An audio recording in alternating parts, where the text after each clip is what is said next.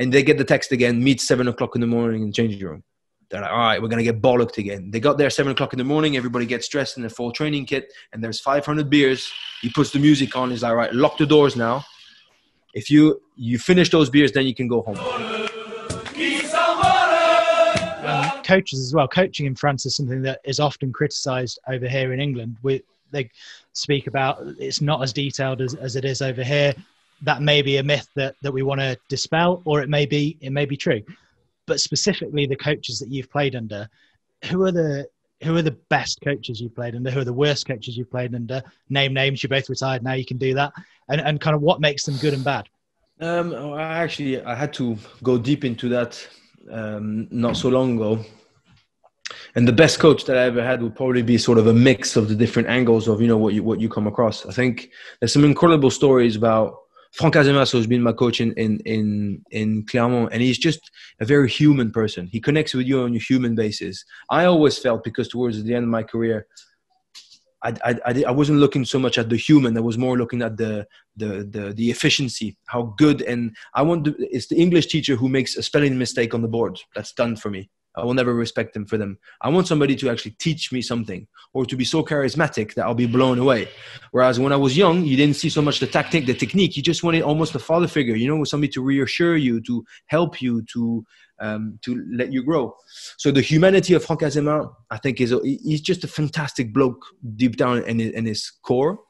Um, Vern Cotter was a dictator for t- for six or seven years in in France, and then obviously for Scotland.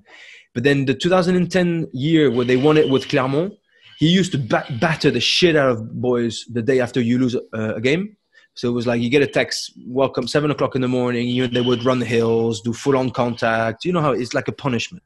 So it works once, it works twice, but it doesn't look it work in the long run because that's unsustainable. And they lost the quarterfinal. I don't know if you remember a quarterfinal of Champions Cup uh, in Leinster by like one point, and Brock James misses like 16 points by kicking three drop goals, two penalties, whatever.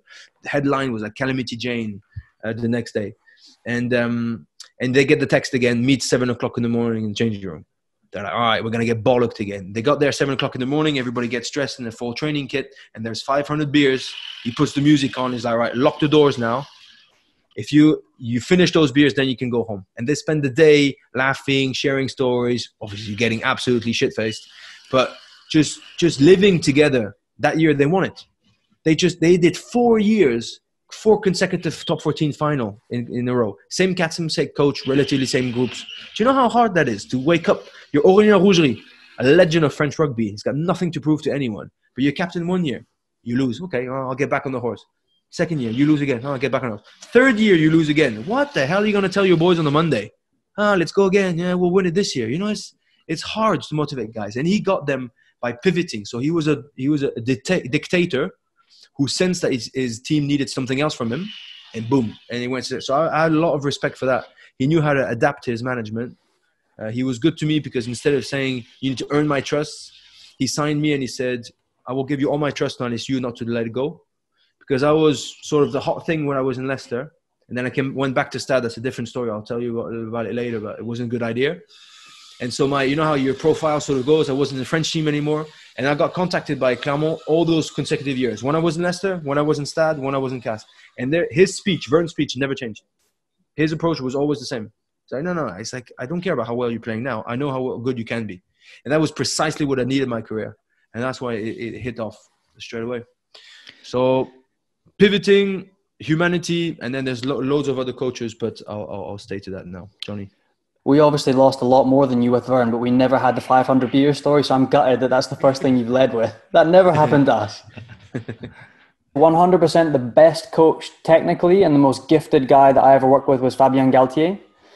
but he was also the hardest guy to work for. So you touched on the human effect again, that's something that's talked about massively in France is coaching with uh, an effective side. I'm not sure how you translate that into English. Your affectif, your effect that you can have on people. And it's hugely important how you control a group, how you control respect, and how you motivate people.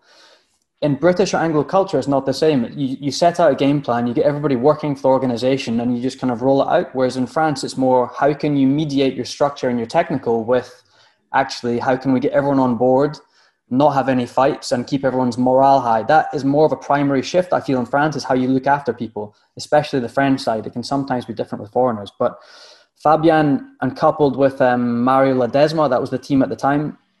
Really good coaching team. The detail was unbelievable. It was the best rugby I ever got to play. It was because of them and the way that we played the game in Montpellier for two years. But in terms of working with them, it was unbelievably hard. The way they would talk to people, the disrespect, the derogatory comments, the bullying every day. It really, really was tough. The, I remember a guy, you'll know him, Benji, Vincent Pelo, Vincent Pelo, who at the time was a young tight head coming through. We're doing scrummaging practice and he was struggling. He's now, you know, played test for France on a loose head. He kills it every week for La Rochelle and he's a good guy. I remember doing scrummaging practice and Mario would just lean, just pretend there's a cheeseburger behind the scrum. Go and fetch it, you fat ass. That was how he would try and motivate people. He would just bully people. And the, whole scrum we're packing down would go, oh, not again.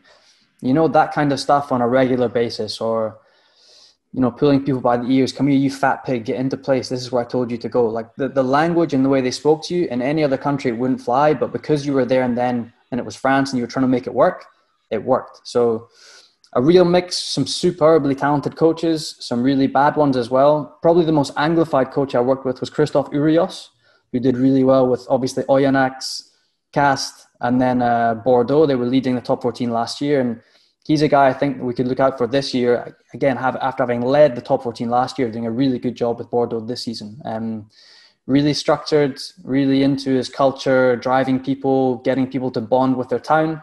Um, and he has a good template if I had to play as well. Super organized and efficient guy. So he's definitely one to look out for this season. And I think a lot of people will be surprised about those stories about Fabien Galthié, Johnny, because obviously he is the current France coach. So, I mean, do you think he's changed? Do you think he's mellowed, or is he still the same guy? No, I mean, I had him I, in 2012, 2014. I mean, Benji, you had him when you were a young kid as well at Stade Francais. I think I'm right in saying, but I mean, there were stories that we heard from when he was at Stade Francais that were the worst, if not the same. There's a guy as well, like at the World Cup, refused to play the third, fourth playoff when he was a player. After losing the semi, he was like, "I'm not playing in this third, fourth," and he, he flew home. Just it was about him. He wanted to be the best, and, and that was it. So look, fundamentally, he is a top class coach. He, I've said before, he, he's the best coach that I've worked with from a technical perspective, but there are like personality traits that hold him back. And if he could fix them, he would be, he'd be one of the best in the world, 100%. Um, Benji, you have stories from Stade Francais. I mean, there's even things from, like, to, to give you an example, we had a player who'd re signed a contract at Montpellier with uh, Mohed Altrad, a three year contract, a good sum of money. He'd been playing really well but Fabien hadn't okayed it. And just to prove he was the boss, he said, I refuse to have that guy. It wasn't me that okayed it. Pay him out. And that was it. The week later, the guy that had signed his contract had three years of money arrive in a check in his bank account because Fabien was the boss and he's the one that had the last say in recruitment. Just to prove that point, the guy had to go and find another club, I think, sometime in July. So there's a long history of stories, um, very, very different in levels of energy um, that get pumped up. But he's he's an amazing coach, um, a very very smart man as well. Um, but there's some stories that would um, leave a very bad taste in your mouth. Did you get Did you get a similar impression, Benjamin, at Stade Francais? To be fair, so uh, it's a bit complicated for me to comment on that one because I, I think what Johnny says is, is, is, is pretty true but he was my first coach. I mean, I had Nick Mallett when I first arrived in 2003, but I, I, played one game on the bench and then he was my first coach to actually give me a shot. Um, he trusted me like nobody ever did. Uh, he really gave me he he because you can say whatever you want about him. He is ballsy. He's got nuts of steel. Uh, he backs yeah. himself and he's got great strategy and stuff. But I'll give you an example. So he chucked me um, when I was 19, 20, a semi-final in Bordeaux against Toulouse, who at the time were killing everyone. And remember the that Chaban-Delmas, the the Bordeaux pitch, there's a long tunnel to go through. So you just you walk for a long, long time. Yeah. And he stood behind me the whole tunnel, and he was just whispering stuff in my ear. You know, do this, do that, da, da, da, literally helping me. I was so focused, I didn't really listen to what he was saying. But fair enough, you know, he's the coach. I'm like, I'm not gonna tell him to fuck off. So I'm walking down and stuff, and we I play really well, and we win, and I'm on I'm sky high, and at the, and at the end of the game, I shake his hand. The first thing he says to me is like and he comes with a he likes to you know to play like poker face all the time he, he's never Mind he games. likes to to yeah and he he like um he p- puts you off all the time you know you're expecting him to give him a big hobby and then he stops and went like this You're not going to say thank you? I was like, what do you mean? Did you see how much I helped you in the tunnel? Pretty much gave you that game, didn't I? I was like, yeah, thank He just wanted me to say thank you. And I'm 20. So I'm saying, thank you, Fabien. You know, I'm not really standing up for myself, but at the same time, he trusted me like nobody else. And he really did help me. And everything that he told me was true. What, what, what I worked on worked. And, and he's the only coach that I ever met that on Tuesday, he's like, hang on. So this is what happened in Ina. Okay, let's, let's go. Hang on. Let me think. All right, we're going to create this play. We're going to do this, this, that, that, that, that. And on Saturday, you score. And we did. That's the only time that this ever happened to me.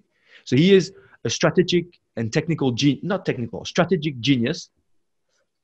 But i've seen him do stuff not not to me but to others that were very very tough. He he he he struggled with um, people who needed a human side. He struggles with people who are not as ruthless and hardcore as him which is a trait of all the guys who are very very driven you know and they a bit not like michael jordan last dance but you know what i mean? That type of sort of angle uh, the only way is tough. The only way is like this. If you need the heart and the, the soul and stuff, that you can fuck off. But some guys do.